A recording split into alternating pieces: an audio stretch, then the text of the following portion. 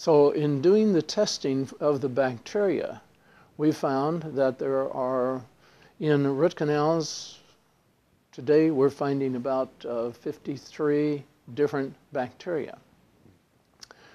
Uh, what do they do? Well, these bacteria, there are 28 of them which are directly involved with the health or disease, non-health of the heart.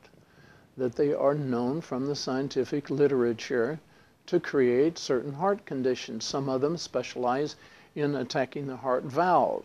The, you know, there are valves that open and close in the heart. Some of them have a predisposition to go there. Uh, many of them cause what's called endocarditis. Endo, inside, inside the heart, itis, inflammation. Inflammation of the vessels inside the heart. Well, that's not too handy because that kind of leads to other tragic events. And then some of them cause um, platelet aggregation. Can you spell that? No. Um, there are platelets that have to do with clotting factors in there. And they come together and they form little clots in there. Well, you get these little clots flo floating around in the brain and in the heart. That creates a whole different problem. So all of these things are right out of the scientific literature. It's just that DNA becomes the messenger to tell you who's there and what it's doing. And that has opened up a whole new avenue of connection between dentistry and medicine.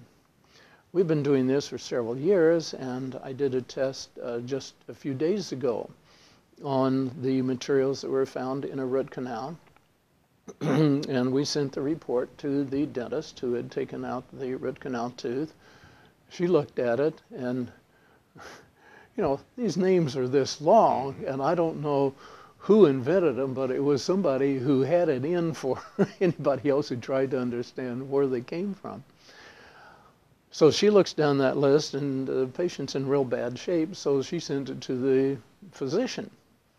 Well, the MD looks it over, and he calls her and says, What should I do with all this? So, you know, each field is its own separate little thing. It's time to kind of get together, bring the family together, and uh, make a team out of this. So then she called me and said, What do we do? Well, there are several things that we have been working with for mm, the last two or three years that tame these bacteria. There are some things you can do that are bad. Uh, have you ever heard of somebody taking an antibiotic because they were sick and getting more sicker? Mm-hmm. Uh-huh. Why does that happen? Because there are two types of antibiotics. There's the bactericidal, like suicidal, homicidal, to kill, and there's the bacteriostatic. Well, the bactericidals, which most people use, if you're going to use an antibiotic, you don't really know who you're targeting. Use a broad spectrum antibiotic. When a broad spectrum antibiotic that's bactericidal comes on the scene, you know, I'm, I'm finding I'm having to change some of my lecture here every decade because have you ever heard of John Wayne? Mm-hmm. You'd be surprised how many people say, who? Uh, I'm sure. well, you know, in John Wayne's day, I mean, he was a cowboy of a long time ago. Uh, he was known to just, and the bad guy falls over dead. Well, that's what's supposed to happen with these bacteria with the bactericidal go in and hit the, the bacteria, they don't fall over dead. They explode.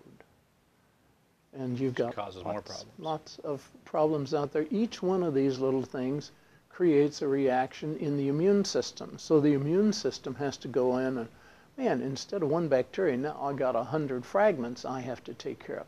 This overwhelms the immune system.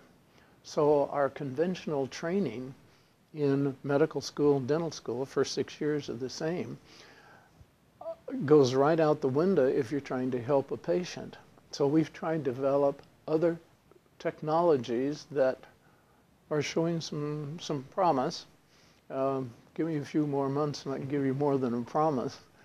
Um, as to how to bring some of these, quote, incurables under control. Well, a lot of the incurables can come under control by getting rid of the source.